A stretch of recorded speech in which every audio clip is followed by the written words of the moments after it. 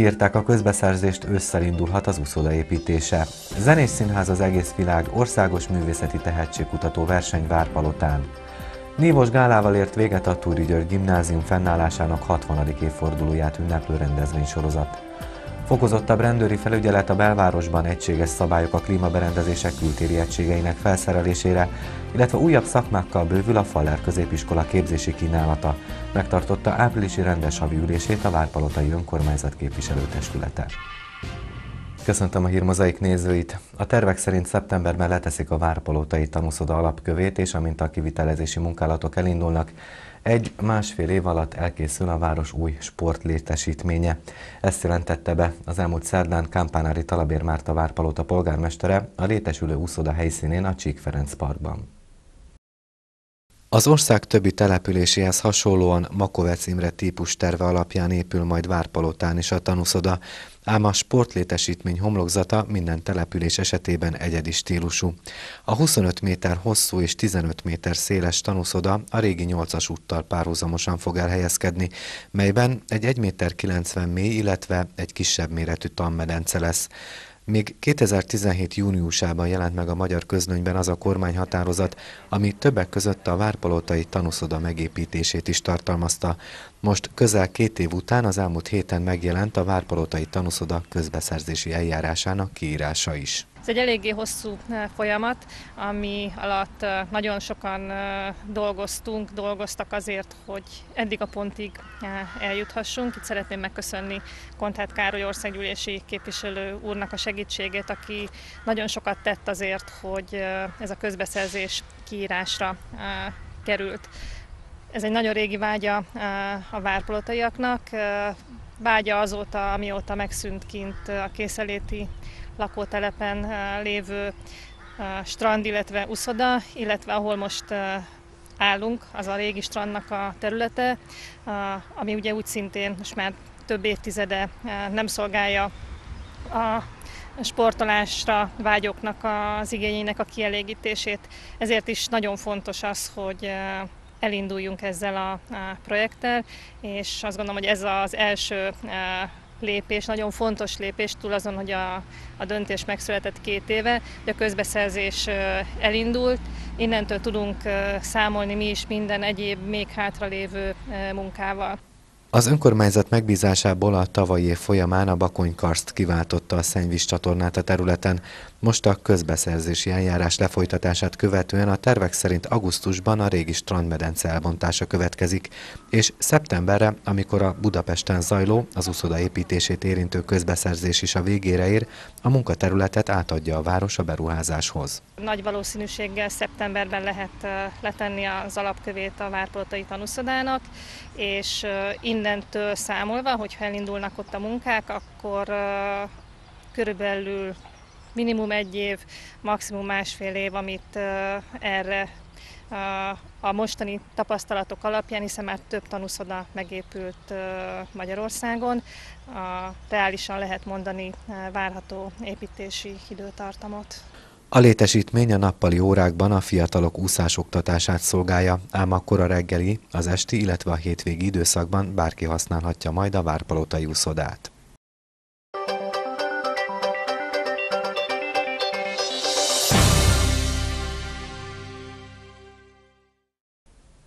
Mintegy száz versenyző több mint 90 produkcióját láthatta a közönség és a szakmai zsűri az idei zenés színház az egész világ országos művészeti tehetségkutató versenyen. A Musicalre hangolva egyesület és az Országos Musical és Operett kurzus 13. éve rendezi meg a versenyt, melynek Várpalota 8. alkalommal adott otthont az elmúlt hétvégén. Vándor lelkem száll a széllel, háztetőm az égbolt a Túrivárban zajlott kétnapos művészeti tehetségkutatón többek között Children, Junior, Felnőtt, Operett vagy csoport kategóriákban is megmutathatták tehetségüket a versenyzők. A produkciókat Kék Kovács Mara, a Budapesti Operett Színház művésze, Lőrinc Máté koreográfus, Szabó Szilvia énekművész, valamint Simon Kornél színész rendező értékelték. Én második ízben lehetek itt, részesültem ebben a megtiszteltetésben, hogy visszaívtak zsűrinek. Borzasztóan örülök. Én Mm, utána talán diákkoromban voltam tehetségkutató versenyen, vagy versenyeken, akkor is inkább résztvevőként. Úgy kerültem közel a zenés színházhoz, zenés színházak ifjúsági, zenés ifjúsági színházak találkozóján, úgyhogy azóta mm, kicsit a feledés jótékony homályá borította be azt, hogy tulajdonképpen mire képesek a fiatalok. Én, én nekem tavaly elképesztő meglepetés volt, és ha lehet, idén még nagyobbra tátottam a számat, hogy itt professzionális produkciókat is látunk, és csiszolatlan gyémántokat is találunk. Úgyhogy összességében azt gondolom, hogy nagyon meggyőző a teljesítmény, és, és bár mondjuk a zsűri munkája nem mindig könnyű, egyrészt mert választani kell, óhatatlan valamifajta döntést kell hozni, valamilyen szelekciót végezni, másrészt azért mégis csak figyelni kell, szóval koncentrálni, figyelni, nem lankadni, de mégis van benne egy komoly élvezett faktor hallgatni és látni ezeket a produkciókat. A Musicalre hangolva Egyesület és az Országos Musical és Operett kurzus 13. éve rendezi meg a versenyt, melynek Várpalota 8. alkalommal adott otthont szerettem volna hazahozni, és nagyon örülök, hogy ez sikerült. Én azt mondhatnám, hogy országosan teljesen ismert, hiszen szinte az ország összes megyéjéből érkeztek most is versenyzők. 93 produkció és 102-3 versenyző. Én tényleg nagyon örülök neki, hogy a távolság sem akadály, és egyre több tehetséges fiatalt ismerhetünk meg az ország minden részéből. Talán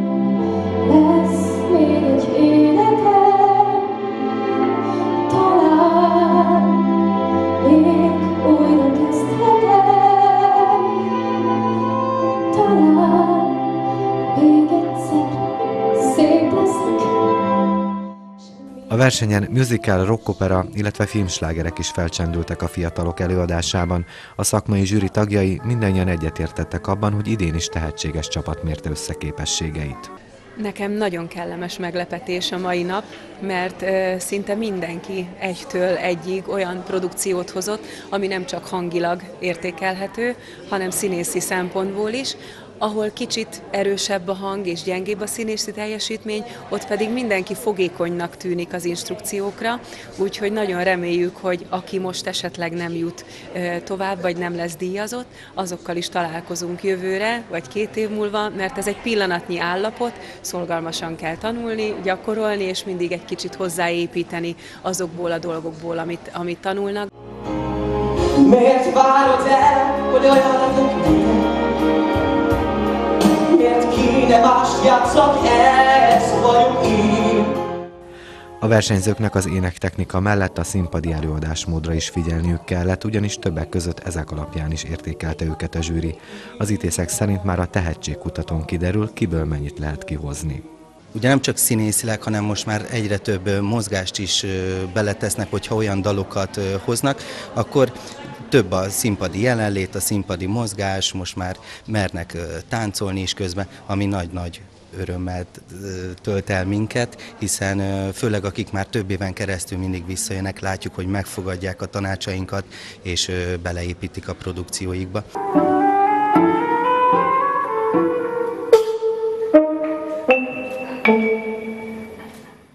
Az idei versenyprodukciói között olyan is akadt, amely várakozáson felüli meglepetést okozott a zsűrinek. a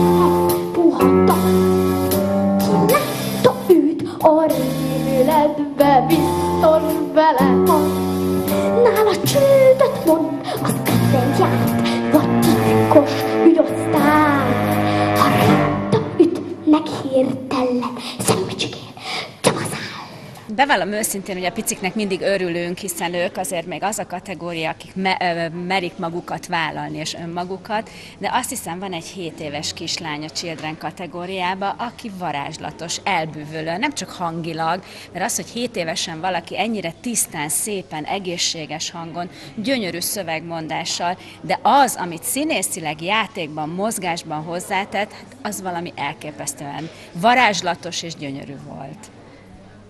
Csatlakozom a Szilvihez, illetve én nagyon izgatottan figyelem a 12-14 junior egy, ugye? Junior egy kategóriát, mert az én lányom is ebbe a kategóriába lenne, hogyha érdeklődne ez iránt a dolog iránt, és annyira látom bennük azt, hogy most kezdenek külön utakon járni, most kezdenek nagyon mélyen gondolkodni bizonyos dolgokról. A dalok is olyanok, amiket választanak, néha már kicsit nagyon felnőttes dalokat választanak, de ez természetes, hiszen ez az a kor, amikor elkezdődnek érdeklődni a felnőtt világ dolgai, érzései iránt. Úgyhogy nekem ez is egy nagyon izgalmas kategória, figyelni ezt a korosztályt, hogy miket választ, hogy instruálható, hogyan, hogyan, hogyan jön vissza az egyik fordulóról a másikra.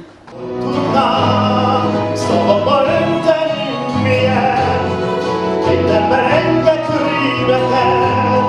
de hogyha eljössz, ott lesz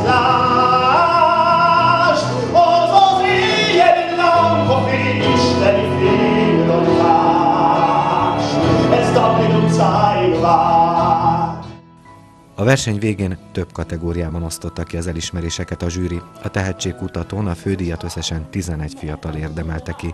Ők mindannyian részt vehetnek nyáron a Várpalotán zajló országos musical és operett kurzuson. Az ott elsajátítottakat pedig a tervek szerint július 21-én 19 órai kezdettel egy gálán mutatják be a Jó Szerencsét Művelődési Központban.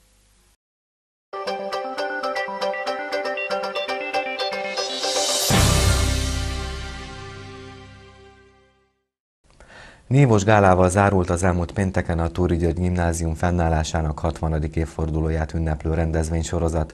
A Gágyula Városi Sportközpontban tartott jubileumi eseményen Várpalota polgármestere Kámpánári Talabér Márta mondott köszöntőt, majd a gimnázium és alapfokú művészeti iskola egykori és jelenlegi tanulói, valamint pedagógusai léptek a szép számú közönség elé. A színes repertoárt egy flashmob zárta, a résztvevők Adi Endre Üzenet egykori iskolámba című versét szavalták el közösen.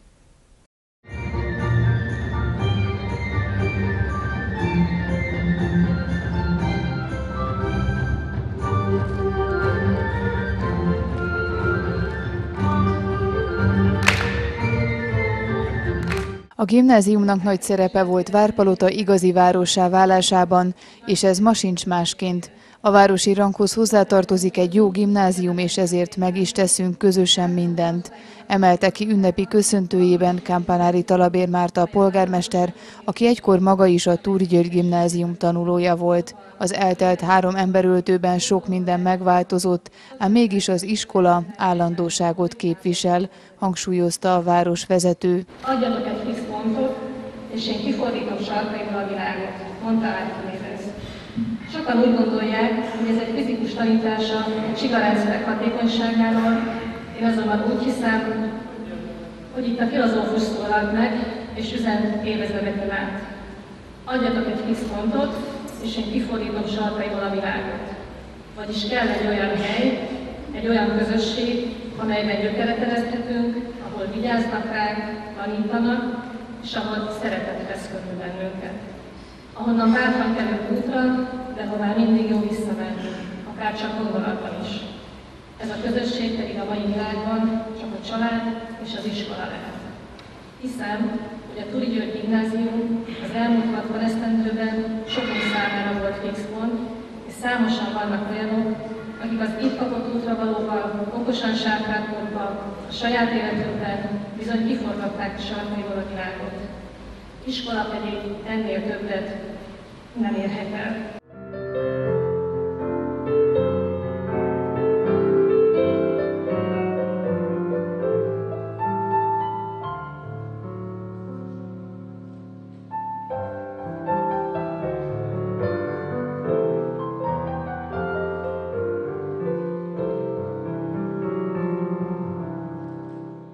A sok éves múltra visszatekintő Turigála évről évre lehetőséget ad a tanintézmény tanulóinak, hogy megmutathassák a bennük rejlő tehetséget, legyen szó zenéről, prózáról vagy éppen táncról. Azt gondolom, hogy a 60 éves jubileum kapcsán egy nagyon szép és színvonalas rendezvényt tudhatunk magunk mögött, hiszen meg tudtuk mutatni mindazt a tehetséget, azokat a tehetségeket, akik valamiben többek, és azt gondolom, hogy ez a rendezvény legfontosabb üzenet területe. A jubileumi gálán együtt léptek a szép számú közönség elé a gimnázium és az alapfokú művészeti iskola egykori és jelenlegi tanulói, valamint pedagógusai.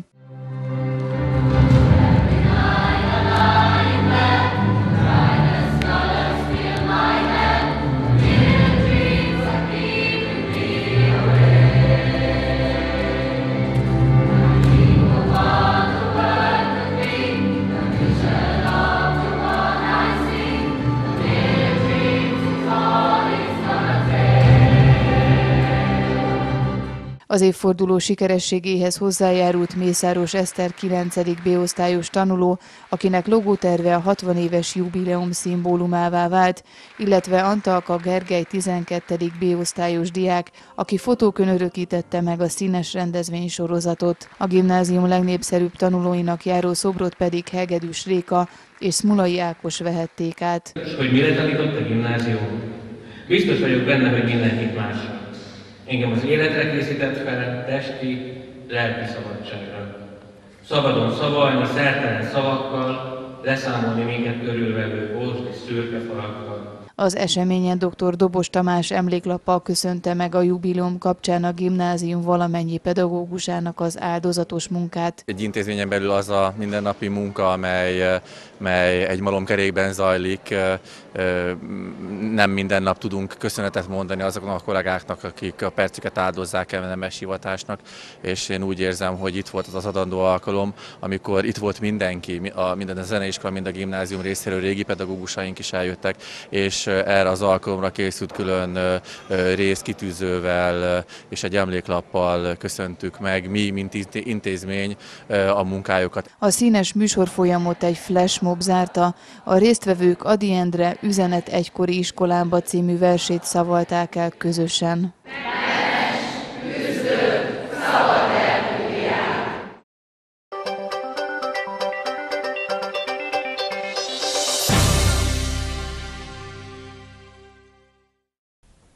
Szakmai rendezvényt tartott az elmúlt csütörtökön a Várpalotai Járási Foglalkoztatási Paktum és a Várpalotai Család és Karrierpont. A Tórivárban megrendezett eseményen az érdeklődők a rugalmas foglalkoztatásban rejlő lehetőségekről hallhattak informatív előadást, többek között az úgynevezett atipikus foglalkoztatási formákról, a határozott idejű munkaviszonyról vagy éppen a munkakör megosztásról.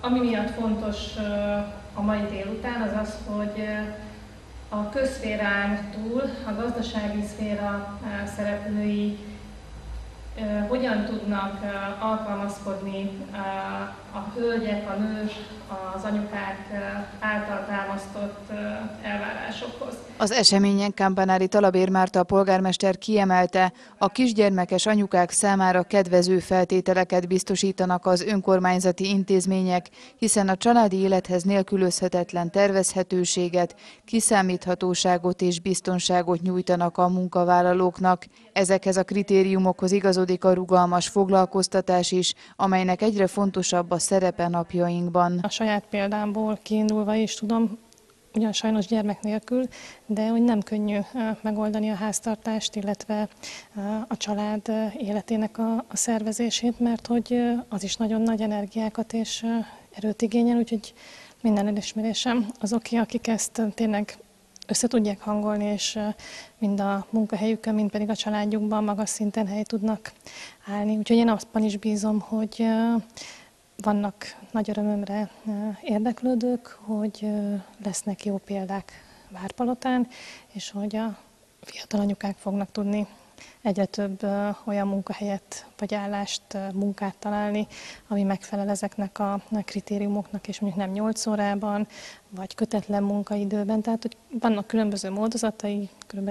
10 atipikus foglalkoztatási mód van már, hogy egyre többet fognak tudni találni itt Várpalotán is, és egyre több munkaadó fog ilyet alkalmazni. A szakemberek szerint bár Magyarországon még gyerekcipőben jár a rugalmas foglalkoztatás, előbb-utóbb mindenkit érint, aki a családot és a munkát próbálja valahogyan összeegyeztetni. A munkáltatók még mindig eléggé sok helyen félnek tőle, nem tudják, hogy milyen administratív hátrányaik lesznek abból, hogyha ők rugalmasan foglalkoztatnak, nem ismerik pontosan a törvényi előírásokat sem ezzel kapcsolatban, és inkább a félelem miatt el se kezdik, be se vezetik ezeket a lehetőségeket. Viszont azt látjuk, hogy mivel a munkaerőpiac eléggé változik, és elég komoly munkaerőhiány van, szinte most már mindenhol egész Magyarországon, ezért aztán ezzel el kell kezdeni foglalkozni a munkáltatók egyre inkább rá vannak arra kényszerítve, hogy ebben lépjenek. Horváth Karib Krisztina HR szakértő előadásában beszélt többek között az úgynevezett atipikus foglalkoztatási formákról, mint például a távmunkáról, a határozott idejű munkaviszonyról, a munkakör megosztásról, vagy éppen a részmunkaidőről. Egyetemen a részmunkaidő arányának az emelése nagyon fontos lenne, hiszen a részmunkaidőben számos olyan lehetőség van, amit a munkavállalók, akik jelenleg nincsenek a munkaerőpiacon, vagy mondjuk amiatt esnek ki, mert hogy nem tudnak részmunkaidőben dolgozni, visszahívhatók, vagy behívhatók lennének. És hogyha megkérdezünk egy nőt, aki jelenleg inaktív, nincs a munkaerőpiacon, hogy miért van ez így, akkor az esetek legnagyobb többségében azt fogja válaszolni, hogy hát nem tud nem tudja megoldani azt, hogy ő 8 órát dolgozzon valahol, utazzon is közben, és közben ellássa a gyerekeket, a családját, a, a rászoruló hozzátartozókat. Ez egy nagyon ö, fontos része lenne a, ö, a mai munkaerőpiacnak. Illetve azt gondolom, hogy a generációváltás is elő fogja azt hozni, hogy egyre többen rákényszerülnek arra, hogy foglalkozzanak vele, hiszen az új generáció, az Y, az Z generáció számára az egy teljesen természetes dolog, hogy ő nem egy meghatározott helyen és nem egy meghatározott időben végzi el a feladatát. A lényeg, hogy megcsinálja azt, amit rábíztak.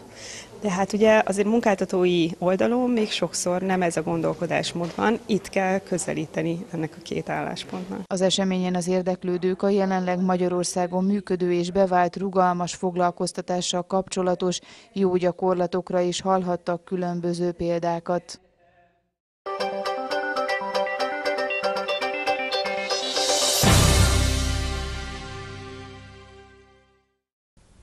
Nyílt napot tartott az elmúlt pénteken a Várpalotai Rendőrkapitányság. A lakosság, valamint az óvodás és iskoláskorú gyermekek számára ilyenkor lehetőség nyílik arra, hogy megismerjék a rendőri munkát és az általuk használt eszközöket, felszereléseket. A rendőrség épületének egy-egy különlegesebb helyiségét is megtekinthették a kíváncsiskodók, többek között az előállító szobát is. A nap bemelegítéseként az óvodások kressz vetélkedőn vettek részt, melyben hasznos ismeretekre tettek szert.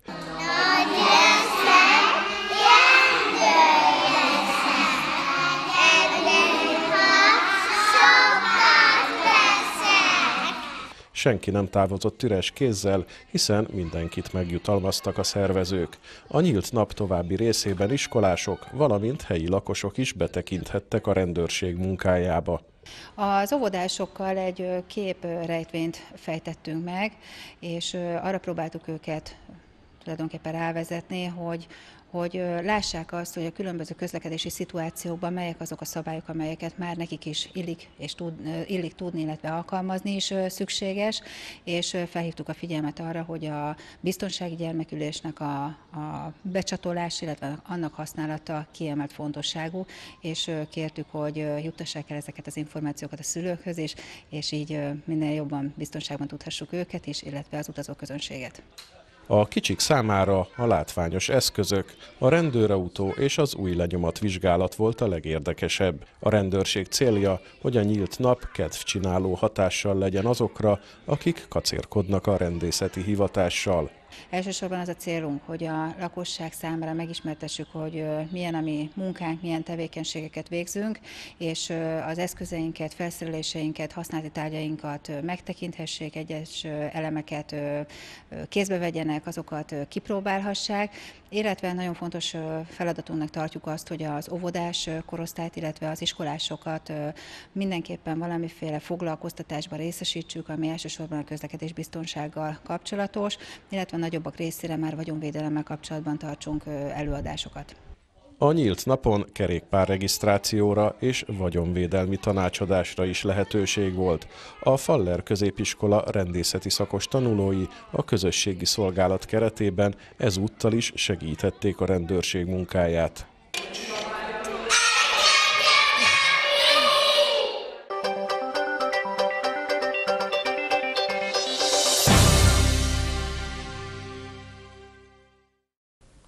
A táncvilágnapját ünnepelték az elmúlt héten a Képesség és Tehetségfejlesztő Magániskola diákjai.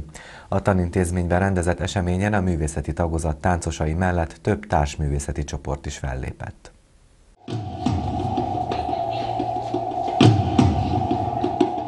Idén is ünnepi előadással emlékeztek a táncvilágnapjára a Képesség és Tehetségfejlesztő Magániskola diákjai.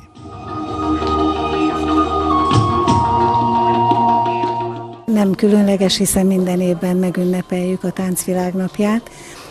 Elsősorban a művészeti iskola táncosai azok, akik fellépnek, de minden alkalommal csatlakoznak hozzá társművészetek is, mint ahogy most is. Hogy lehet így állni? Ne engem nézze, maga áll így! Egy felrántott, helyén nem is szekrény. Ki a maga? Quasimodo őrmester. A tánc, mint egyetemes művészet önmagában is sokrétű. Ennek megfelelően a néptánctól a társas táncon át, balett, valamint modern táncokat művelő gyerekek is szórakoztatták a rendezvényen a közönséget.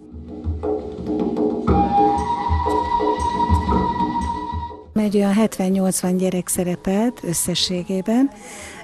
Voltak szólószámok természetesen, zeneszámok, de csoportos produkciók is voltak bőven. Összes műfaj, igen, mert a társastánc, a néptánc, a balett, a modern tánc mind szerepelt a műsorprogramban. Igen, változatos volt a műsor.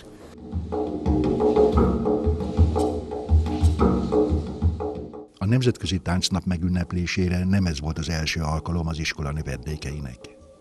A tavaszi szünet előtt ugyanis a tanintézmény Veszprémi balettcsoportja Bécsben részt vett egy nemzetközi megmérettetésen, ahol szép sikereket értek el. A több mint 300 produkció közel 600 versenyzője között hazánkat a Balettintézet és az Operaház balettiskolája mellett a Képesség és Tehetségfejlesztő Magániskola balettos növendékei is képviselték. A nemzetközi zsűri az intézmény Veszprémi balettcsoportjának két produkcióját is harmadik helyezéssel jutalmazta. Mindenki, aki eljött erre a versenyre képviselni az iskolánkat, a városunkat, Veszprémet, illetve Magyarországot, nagyon kitettek magukért.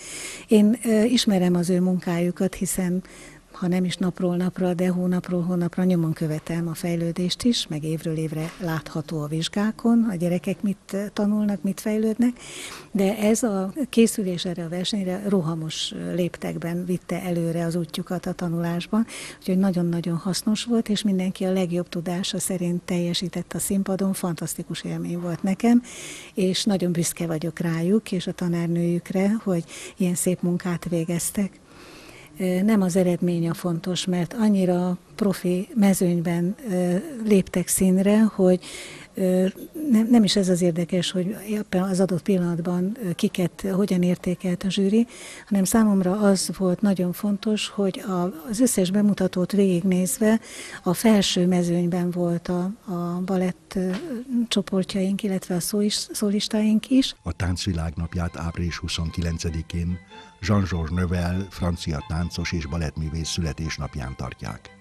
A Nemzetközi Táncnap célja a művészeti ág népszerűsítése a világországaiban.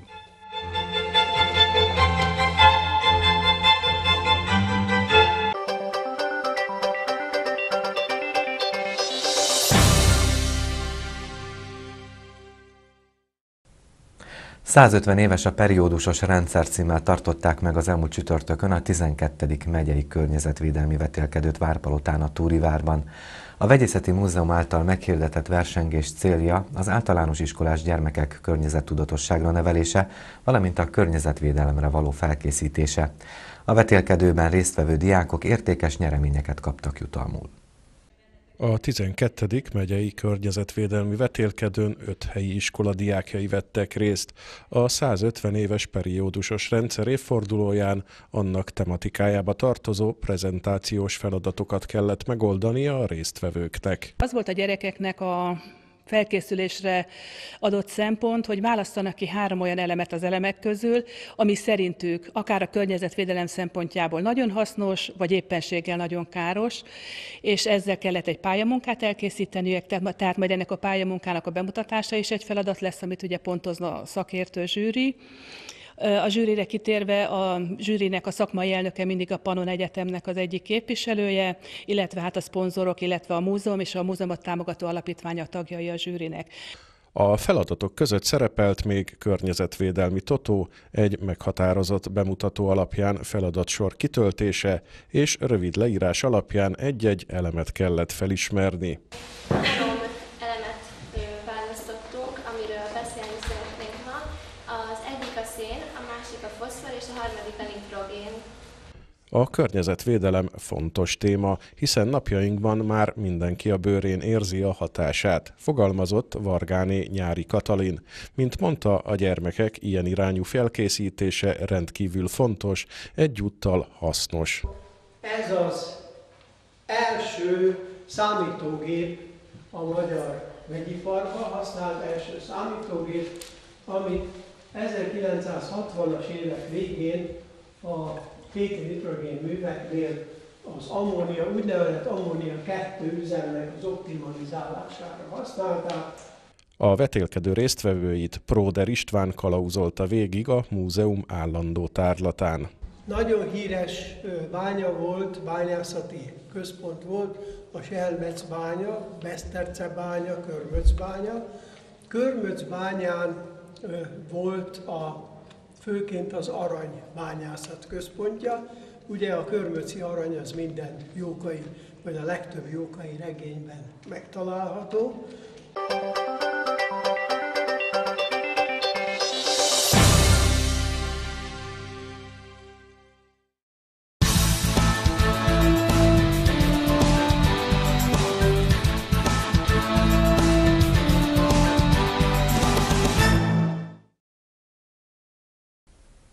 Fokozottabb rendőri felügyelet a belvárosban, egységes szabályok a klímaberendezések kültéri egységeinek felszerelésére, illetve újabb szakmákkal bővül a Faller középiskola képzési kínálata.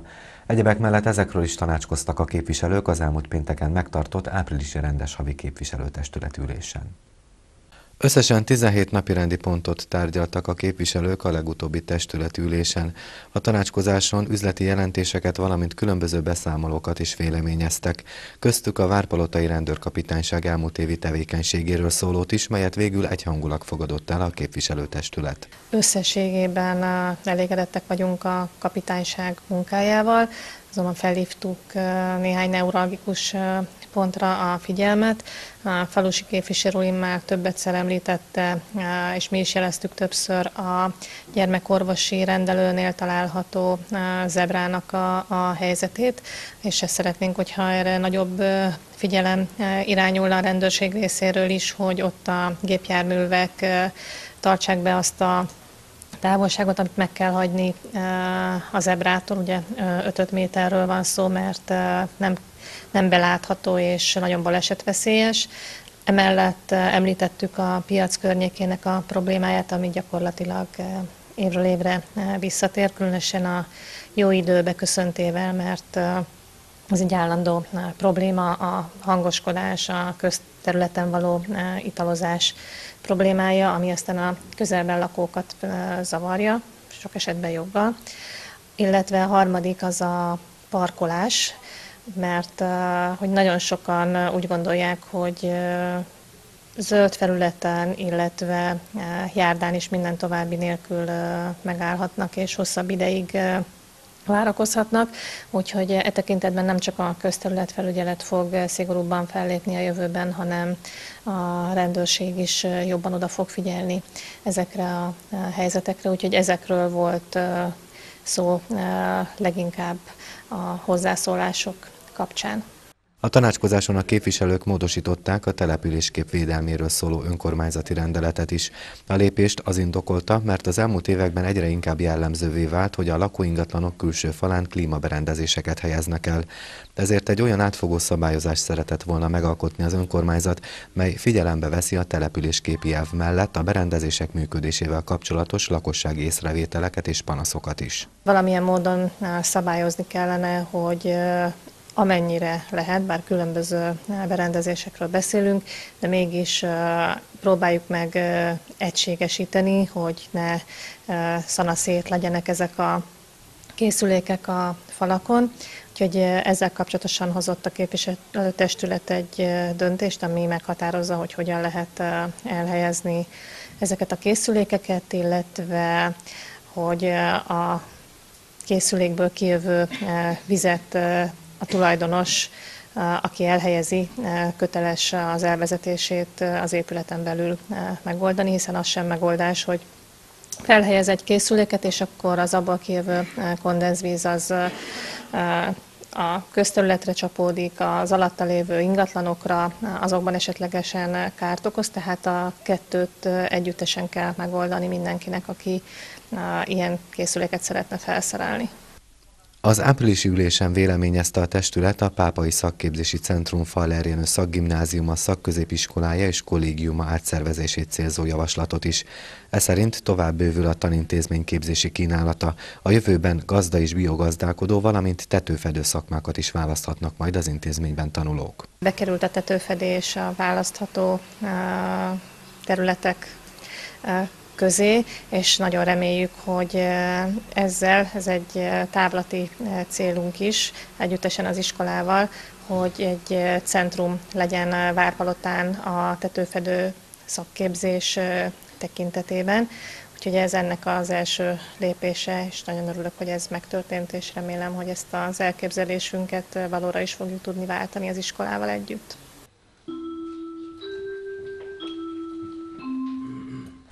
Az ülésen a képviselők elfogadták még az Északnyugat-Magyarországi Közlekedési Központ ZRT elmúlt évi helyi járatú autóbusz közlekedéssel kapcsolatos tevékenységéről szóló beszámolót, illetve a Magyar Vörös Kereszt Veszprém megyei szervezetével való 2019 évre vonatkozó ellátási szerződésről is döntöttek.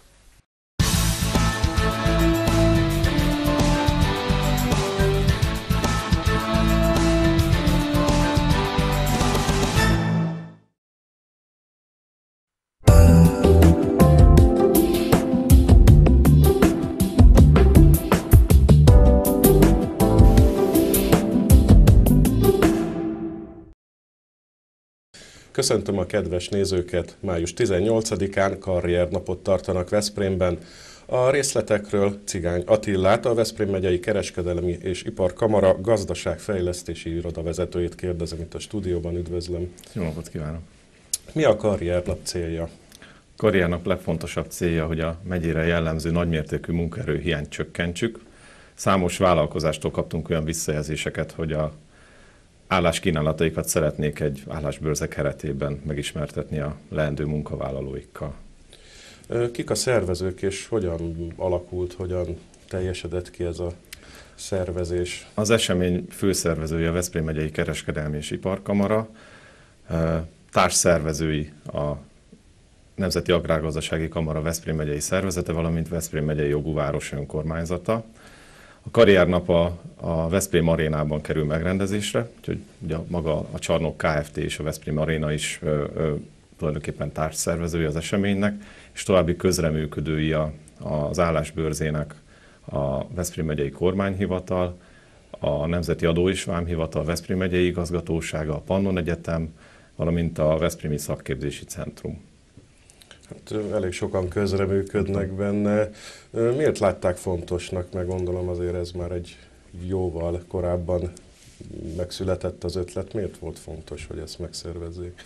Egyrészt ugye, mint említettem, a munkaerőhiány csökkentése, illetve hogy az állás kínálatokat bemutathassuk a, az érdeklődőknek, és nagyon fontosnak tartottuk azt, hogy azok, akik állást szeretnének váltani, azok helyben, Veszprém megyében, Veszprém megyében foglalkoztató vállalkozásoknál találják meg a boldogulásukat. Napjainkban egyébként mennyire kardinális kérdés ugye az állás, az új állás, illetve hát szakmák jönnek, bennek mondhatjuk így is évről évre változik a, ennek okán a piac is. Ugye rendkívüli nagy munkaerőhiány tapasztalható, tehát tulajdonképpen a munkanélküliek száma rendkívül alacsony, viszont mindenképpen fókuszálni akartunk azokra a, a, az emberekre, akik váltani szeretnének. Egyrészt ezt meg tudják tenni most már ugye a megyében is, hiszen lehetővé tesszük számukra azt, hogy megismerjék a, a, a legmeghatározóbb foglalkoztatókat, legyen az akár kis, közép vagy nagy vállalkozás. És fontos a mai nap is a, a, az átképzés, tehát a, a a továbbképzések az, hogy milyen képzési kínálatok vannak a megyében, ezért is tartottuk fontosnak azt, hogy a, a Pannon Egyetemet, illetve a szakképzési centrumot is bevonjuk a szervezésbe, de természetesen a, a, a vállalkozások is tudnak olyan perspektívát mutatni, akár belső képzésekkel is, hogy helyben tarthassák akár a, a leendő munkavállalókat. Hány résztvevőre számítanak a szervezők? Terveink szerint körülbelül két-három ezer főre számítunk. Kik, lesz, kik lesznek a kiállítók, azt lehetett már tudni, akik biztosan ott lesznek, illetve várnak-e új jelentkezőket, hiszen azért május 18-áig még van idő. Körülbelül 70 kiállítóhelyünk van, ezeknek a fele már megtelt. Fontos újítás a, a karriernap tekintetében az, hogy nem csak közép- és nagy vállalkozásokat, hanem mikro- és kis vállalkozásokat is várunk, tehát olyan kedvezményes feltételeket is kialakítottunk részükre, hogy nagyon kedvezményesen meg tudnak jelenni. A meghatározó megyei foglalkoztatók fognak megjelenni, csak azok, akik Veszprém megyei telephelyjel rendelkeznek, tehát mindenképpen fontosnak tartunk az, hogy a megyei vállalatokat és kisvállalkozásokat helyezzük előtérbe. Még két hétig lehet egyébként jelentkezni kiállítóként, és továbbra is várjuk a jelentkezőket. Bármilyen szakmába, bármilyen területen várják a jelentkezőket? Természetesen. Tehát független attól, hogy agrárium, vagy ipar, kereskedelem, teljesen, teljesen mindegy. Milyen programokkal várják az érdeklődőket? Fontos újítás a karriernap esetében, hogy szombati napon kerül megrendezésre. Mindenképpen hétvégi napra terveztük, hiszen így azok, akik már dolgoznak, de munkát szeretnének váltani, anélkül tudnak eljönni erre az eseményre, hogy szabadnapot kelljen kivenniük. Viszont mivel szombati napon tartjuk, ezért családi programokkal, gyermekprogramokkal, interaktív szakmabemutatókkal, karrierbeszélgetésekkel készülünk a résztvevők részére. A helyszínre ugye el lehet jutni, hiszen nagy parkoló van ugye különböző járművekkel, de úgy tudom, hogy ingyenes buszjáratok is lesznek. Így van. Veszprém megye jogúváros felajánlásának köszönhetően a V-busz Kft. egész nap egy óránként közlekedő ingyenes buszjáratot fog biztosítani, ami a buszpályaudvar, illetve a, a Veszprém főbb városrészeinek az érintésével érinteni fogja a, a Veszprém arénát is.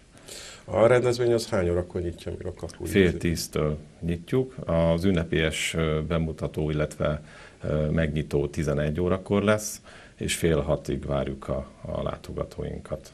Ugye mivel ez az első ilyen nagy volumenű rendezvényesemény, hogy lesz tovább, lesz-e folytatás, tehát mitől függ, hogy terveznek-e következő évben is? Mindenképpen a visszajelzések alapján fogjuk eldönteni, de mi már úgy készülünk, hogy ezért az elkövetkezendő években is szeretnénk hasonló eseményeket szervezni.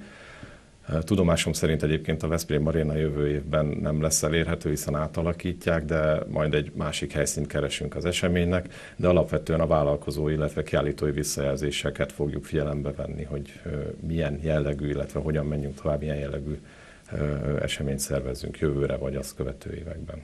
Talán arról nem beszéltünk, de kimondottan az iskola, tehát most iskoláskorú embereket várják oda, vagy aki mondjuk már 40-50 körül van, de mondjuk a szakmája az már, hát hogy is mondjam, így kihaló félbe került, tehát őket is várják esetleg erre az eseményre.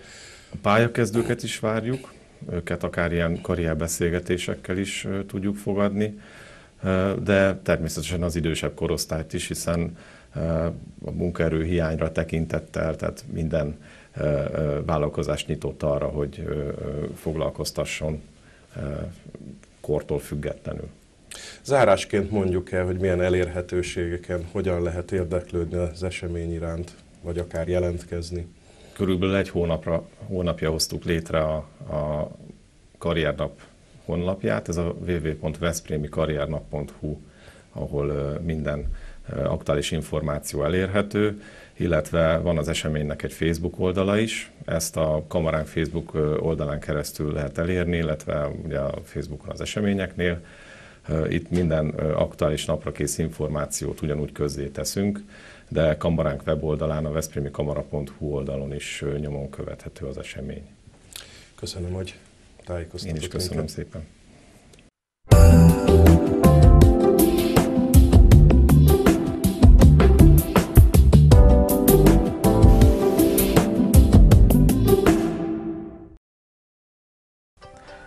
Most jöjjenek kiemelt híreink még egyszer röviden. Kiírták a közbeszerzést, ősszel indulhat az uszoda építése. Zenés színház az egész világ országos művészeti tehetségkutató verseny Várpalotán. Nívos gálával ért véget a Túri György gimnázium fennállásának 60. évfordulóját ünneplő rendezvénysorozat. Fokozottabb rendőri felügyelet a belvárosban egységes szabályok a klímaberendezések kültéri egységeinek felszerelésére, illetve újabb szakmákkal bővül a Faller középiskola képzési kínálata. Megtartotta áprilisi rendes havi ülését a Várpalotai Önkormányzat képviselőtestülete. A hírmozaikot látták, adásunkat most a Szomszéd Vár turisztikai magazinnal folytatjuk. Köszönöm, hogy velünk tartottak, további kellemes estét kívánok, viszontlátásra!